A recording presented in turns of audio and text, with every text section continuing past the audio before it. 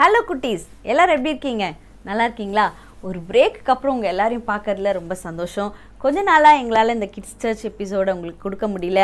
இனிமே கவலைப்படாதீங்க நாங்கள் ரெகுலராக கிட்ஸ் சர்ச் எபிசோடு உங்களுக்கு அனுப்புவோம் சரியா ஆன்லைன் கிளாஸஸ்லாம் ஆரம்பிச்சிடுச்சு எல்லோரும் கரெக்டாக அட்டன் பண்ணுறீங்களா இல்லை ஏமாத்துறீங்களா கரெக்டாக அட்டன் பண்ணுறீங்க எங்களுக்கு தெரியுது ஓகே இப்போ நம்ம ஒரு பாட்டு கற்றுக்க போகிறோம் என்ன பாட்டுனா ஏசப்பாவோட அன்பு பற்றின பாட்டு ஏசப்பா நம்ம மேலே எவ்வளோ அன்பு வச்சுருக்காங்கல்ல உனக்காகவும் எனக்காகவும் மறித்து மூன்றாம் நாள் எழுந்தாங்க பாருங்கள் அந்த ஏசப்பா நமக்கு கொடுத்த அன்பை நம்ம மற்றவங்களுக்கும் ஷேர் பண்ணணும் சரியா அதை பற்றின ஒரு பாட்டு நம்ம இப்போ கற்றுக்கலாம் ரெடியாக இருக்கீங்களா கற்றுக்கலாமா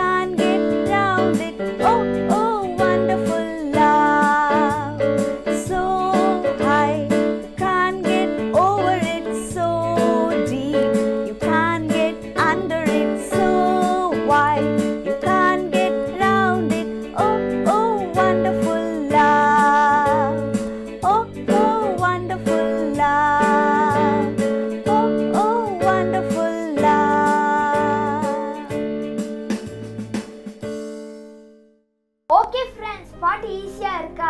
ஏசுப்பாவுடைய அன்பு ரொம்ப பெருசுல நம்ம ஏசுப்பாவுடைய அன்பை பற்றி பார்த்துட்டு இருக்கோம் ஓகே நம்ம திரும்ப கற்றுக்கலாமா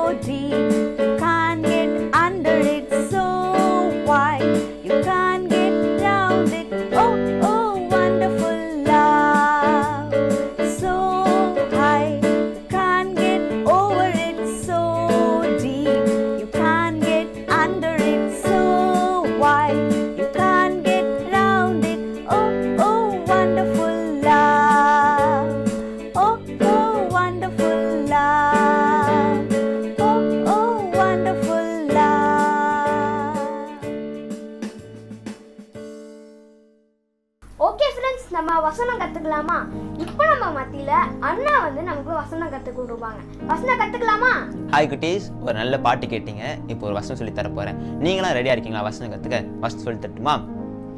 இதோ என் உள்ளங்கைகளில் உன்னை வரைந்திருக்கிறேன் உன் மதில்கள் எப்பொழுதும் என் முன்னே இருக்கிறது ஏசாயா நாற்பத்தொம்போது பதினாறு இன்னொரு வாட்டி சொல்லி தரட்டுமா இதோ என் உள்ளங்கைகளில் உன்னை வரைந்திருக்கிறேன் உன் மதில்கள் எப்பொழுதும் என் முன்னே இருக்கிறது ஏசாயா நாற்பத்தொம்போது பதினாறு ஓகே குட்டீஸ் இந்த வசனத்தை நல்லா ப்ராக்டிஸ் பண்ணிக்கோங்க இதை மறக்காமல் வீடியோ எடுத்து கீழே கொடுக்குற நம்பருக்கு உங்களோட வீடியோவை சென்ட் பண்ணுங்கள் சரிங்களா குட்டீஸ் இன்னொரு எபிசோடில் உங்களை மீட் பண்ணுறேன் அது வரைக்கும் பாய் என்ன குட்டீஸ் ஒரு நல்ல வசனம் கேட்டிங்களா ஜாஸ்பிரனா சூப்பராக ஒரு வசனம் சொல்லி கொடுத்தாங்கல்ல இப்போ நம்ம வந்து ஒரு கதை கேட்க போகிறோம் ஒரு ஊரில் ஒரு ஃபேமிலி இருந்தாங்க அந்த ஃபேமிலியில் ஒரு அம்மா அப்பா அப்புறம் ஒரு அண்ணன் ஒரு தங்கச்சி இருந்தாங்க இந்த அண்ணன் வந்து ரொம்ப ஒபீடியண்ட்டான பையன் அவங்க வீட்டில் என்ன சொன்னாலும் அவன் கீழ்ப்படிவான் அண்ட் அது மட்டும் இல்லை அவன் வந்து சூப்பராக வரைவான் ஒரு நாள் அவன் என்ன பண்ணிட்டு இருந்தான் அவன் உட்காந்து அவனோட அவனோட ட்ராயிங் ஒன்று பண்ணிட்டு இருந்தான் அப்போது வந்து அவங்க மம்மி அவனை கூப்பிட்டு கடைக்கு போயிட்டு வாப்பா அப்படின்னு சொன்னாங்க ஸோ இவன் வந்து என்னாச்சு ஐயோ இருக்குமே இன்னும் கொஞ்சம் தான் இருக்குது வரைஞ்சி முடிச்சுட்டு நம்ம கடைக்கு போகலாம் அப்படின்றது அவன் மனசுக்குள்ளே இருந்தாலும் அவங்க மம்மி சொன்னாங்கல்ல அதுக்காகவே அவன் கீழ்ப்படிஞ்சு அவன் கடைக்கு போகிறான் இவன் கடைக்கு போகும்போது அவனோட தங்கச்சி வந்து அவன் வரைஞ்சி வச்சிருக்கிறத பார்த்தா வாவ் நம்ம அண்ணா எவ்வளோ சூப்பராக வரைஞ்சிருக்காங்களா இதை நம்மளும் கொஞ்சம் என்ன வரையலாம் அப்படின்னு சொல்லிட்டு அவள் வந்து வரைகிறான் அவள் வந்து வரைய வரும்போது பெயிண்ட் பாட்டில் ஓப்பன் ஆகி அந்த ட்ராயிங்கில் ஊற்றிடுச்சு ஸோ இப்போ அந்த ட்ராயிங்கே வந்து ஃபுல்லாக ஸ்பாயில் ஆயிடுச்சு அந்த பெயிண்ட் உப்பட்டனால இப்போ அவளால் எதுவுமே பண்ண முடியாது அவள் வந்து ரொம்ப பயந்துட்டா அண்ணன் பார்த்தா திட்டுவானே அவன் இவ்வளோ கஷ்டப்பட்டு வரைஞ்சிருக்கான் பட் நம்ம இதை இப்படி ஸ்பாயில் பண்ணிட்டுமே அப்படின்னு சொல்லிட்டு அவளுக்கு என்ன பண்ணுறதுனே தெரில அவனோட தங்கச்சிக்கு ஒரு ஐடியா வந்துதான் நம்ம என்ன பண்ணலாம் இந்த டிராயிங்கை வந்து கிழிச்சு நம்ம டாகி கிட்ட போட்டுடலாம் ஸோ அண்ணன் வந்து பார்த்தா அது அந்த டாகி தான் பிச்சிருச்சு அப்படின்னு அவன் அண்ணன் நினைப்பான் அப்படின்னு சொல்லிட்டு அவளும் என்ன பண்ணா கடகடன் போயிட்டு அந்த அந்த டிராயிங்கை வந்து ஃபுல்லாக கிழிச்சு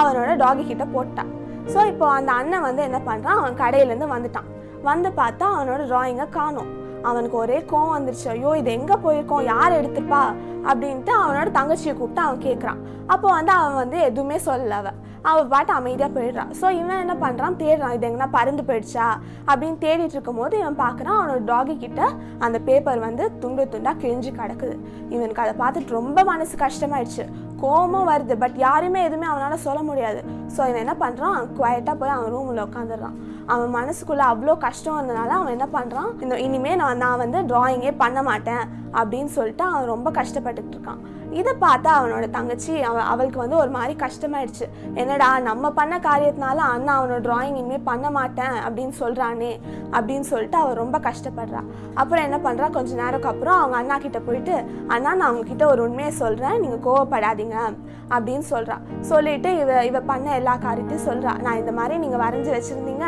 எனக்கு ரொம்ப ஆசையாக இருந்தது நானும் அதில் வரையணும்னு நினச்சேன் பட் பெயிண்ட் ஊற்றிட்டனால நான் தான் கிழிச்சு அதை வந்து டாகி கிட்டே போட்டேன் அப்படின்னு அவள் சொல்றா இதை பார்த்துட்டு அவங்க அண்ணனுக்கு ரொம்ப கோவம் வருது பட் ஸ்டில் அவள் தங்கச்சி மேலே வச்சிருந்த அந்த அன்புனால சரி பரவாயில்ல அப்படின்னு சொல்லிட்டு அவளை மன்னிச்சு விட்டுடுறான் இதே மாதிரி தான் குட்டீஸ் நம்மளும் நிறைய தப்பு பண்ணியிருப்போம் நம்ம லைஃப்பில் இப்போ கூட நீங்கள் எதனா சின்ன சின்ன பொய் சொல்லியிருக்கலாம் எதனா பண்ணியிருந்துருக்கலாம் பட் இப்போ கூட நீங்கள் ஏசுப்பா கிட்ட போயிட்டு ஏசுப்பா கிட்ட சொல்லிட்டீங்க அப்படின்னா ஏசுப்பா வந்து நிச்சயமாக உங்களை மன்னிப்பார் ஏசப்பாக்கு உங்களுக்கு ரொம்ப பிடிக்கும் தெரியுமா அதனால தான் குட்டீஸ் நீங்கள் எவ்வளோ தப்பு பண்ணாலும் வந்து ஏசுப்பா அதை மன்னிக்கிறாரு ஸோ இன்னைக்கு நீங்கள் அம்மா அப்பா கீழ்ப்படியாமல் இருந்திருக்கலாம் இல்லை எதனா பொய் சொல்லியிருக்கலாம் இல்லை எதனா திருடி இருக்கலாம் என்ன வேணாலும் நீங்கள் பண்ணியிருக்கலாம் பட் ஏசப்பா கிட்டேருந்து அதை மறைக்காம ஏசப்பா கிட்ட அதை சொல்லி ஏசப்பா கிட்ட மன்னிப்பு கேட்டுருங்க நிச்சயமா ஏசப்பா உங்களை மன்னிப்பாரு பிகாஸ் ஏசப்பாக்கு உங்களை ரொம்ப ரொம்ப பிடிக்கும் அதனால குட்டீஸ் நம்ம எத்தனை தடவை தப்பு பண்ணாலும் ஏசப்பா நம்மளை மன்னிச்சிருவாரு அப்படின்லாம் நினைக்க கூடாது ஒரு தடவை தப்பு பண்ணிட்டீங்கன்னா அதை மன்னிப்பு கேட்டீங்கன்னா இனிமே அந்த தப்பை செய்யவே கூடாது ஓகேயா சரி இப்போ வந்து நம்ம ப்ரே பண்ணி முடிச்சிடலாம் அன்புள்ள இயேசுப்பா இன்றைக்கி நாங்கள் கேட்ட இந்த பாட்டு கதை வசனம் எல்லாத்தையும் நீர் எங்களுக்கு ஆசீர்வதிச்சு கொடுக்க போகிறதுக்காக நன்றி இயேசுப்பா இன்றைக்கி நாங்கள் கேட்ட கதையின்படியே இயேசுப்பா நாங்கள் எதனா தப்பு செஞ்சிருந்தோம் அப்படின்னா இன்றைக்கி நாங்கள் வந்து உங்ககிட்ட மன்னிப்பு கேட்குறோம் நீர் எங்களை மன்னித்து மறக்க எங்களோட பாவங்கள் எல்லாத்தையும் நீர் மறக்க போகிறதுக்காக நன்றி இயேசுப்பா எங்கள் மேலே நீர் வச்சுருக்க இந்த அளவெல்லாம் அன்புக்காக நன்றி நாங்களும் இயேசுப்பா உங்கள் மேலே ரொம்ப பிரியமாக இருக்கிறதுக்கு உங்களுக்கு பிரியமான வழியிலேயே நாங்கள் நடக்கிறதுக்கு நீர் உதவி பண்ணுங்க இயேசுப்பா எங்கள் குடும்பங்களை ஆசிர்வதிங்க எங்கள் எங்கள் வீட்டில் இருக்க எல்லாரையும் நீரே பாதுகாப்பு காத்துக்கொள்ளுங்க நீரே பொறுப்பெடுத்துக்கொள்ளுங்க வழி நடத்துங்க காத்துக்கொள்ளுங்க ஏசின் மூலம் ஜெபம் கேளும் ஜீவனும் நல்ல பிதாவே ஆமேன் ஓகே குட்டீஸ் நாங்கள் நெக்ஸ்ட் எபிசோடில் உங்களை மீட் பண்ணுறோம் பாய்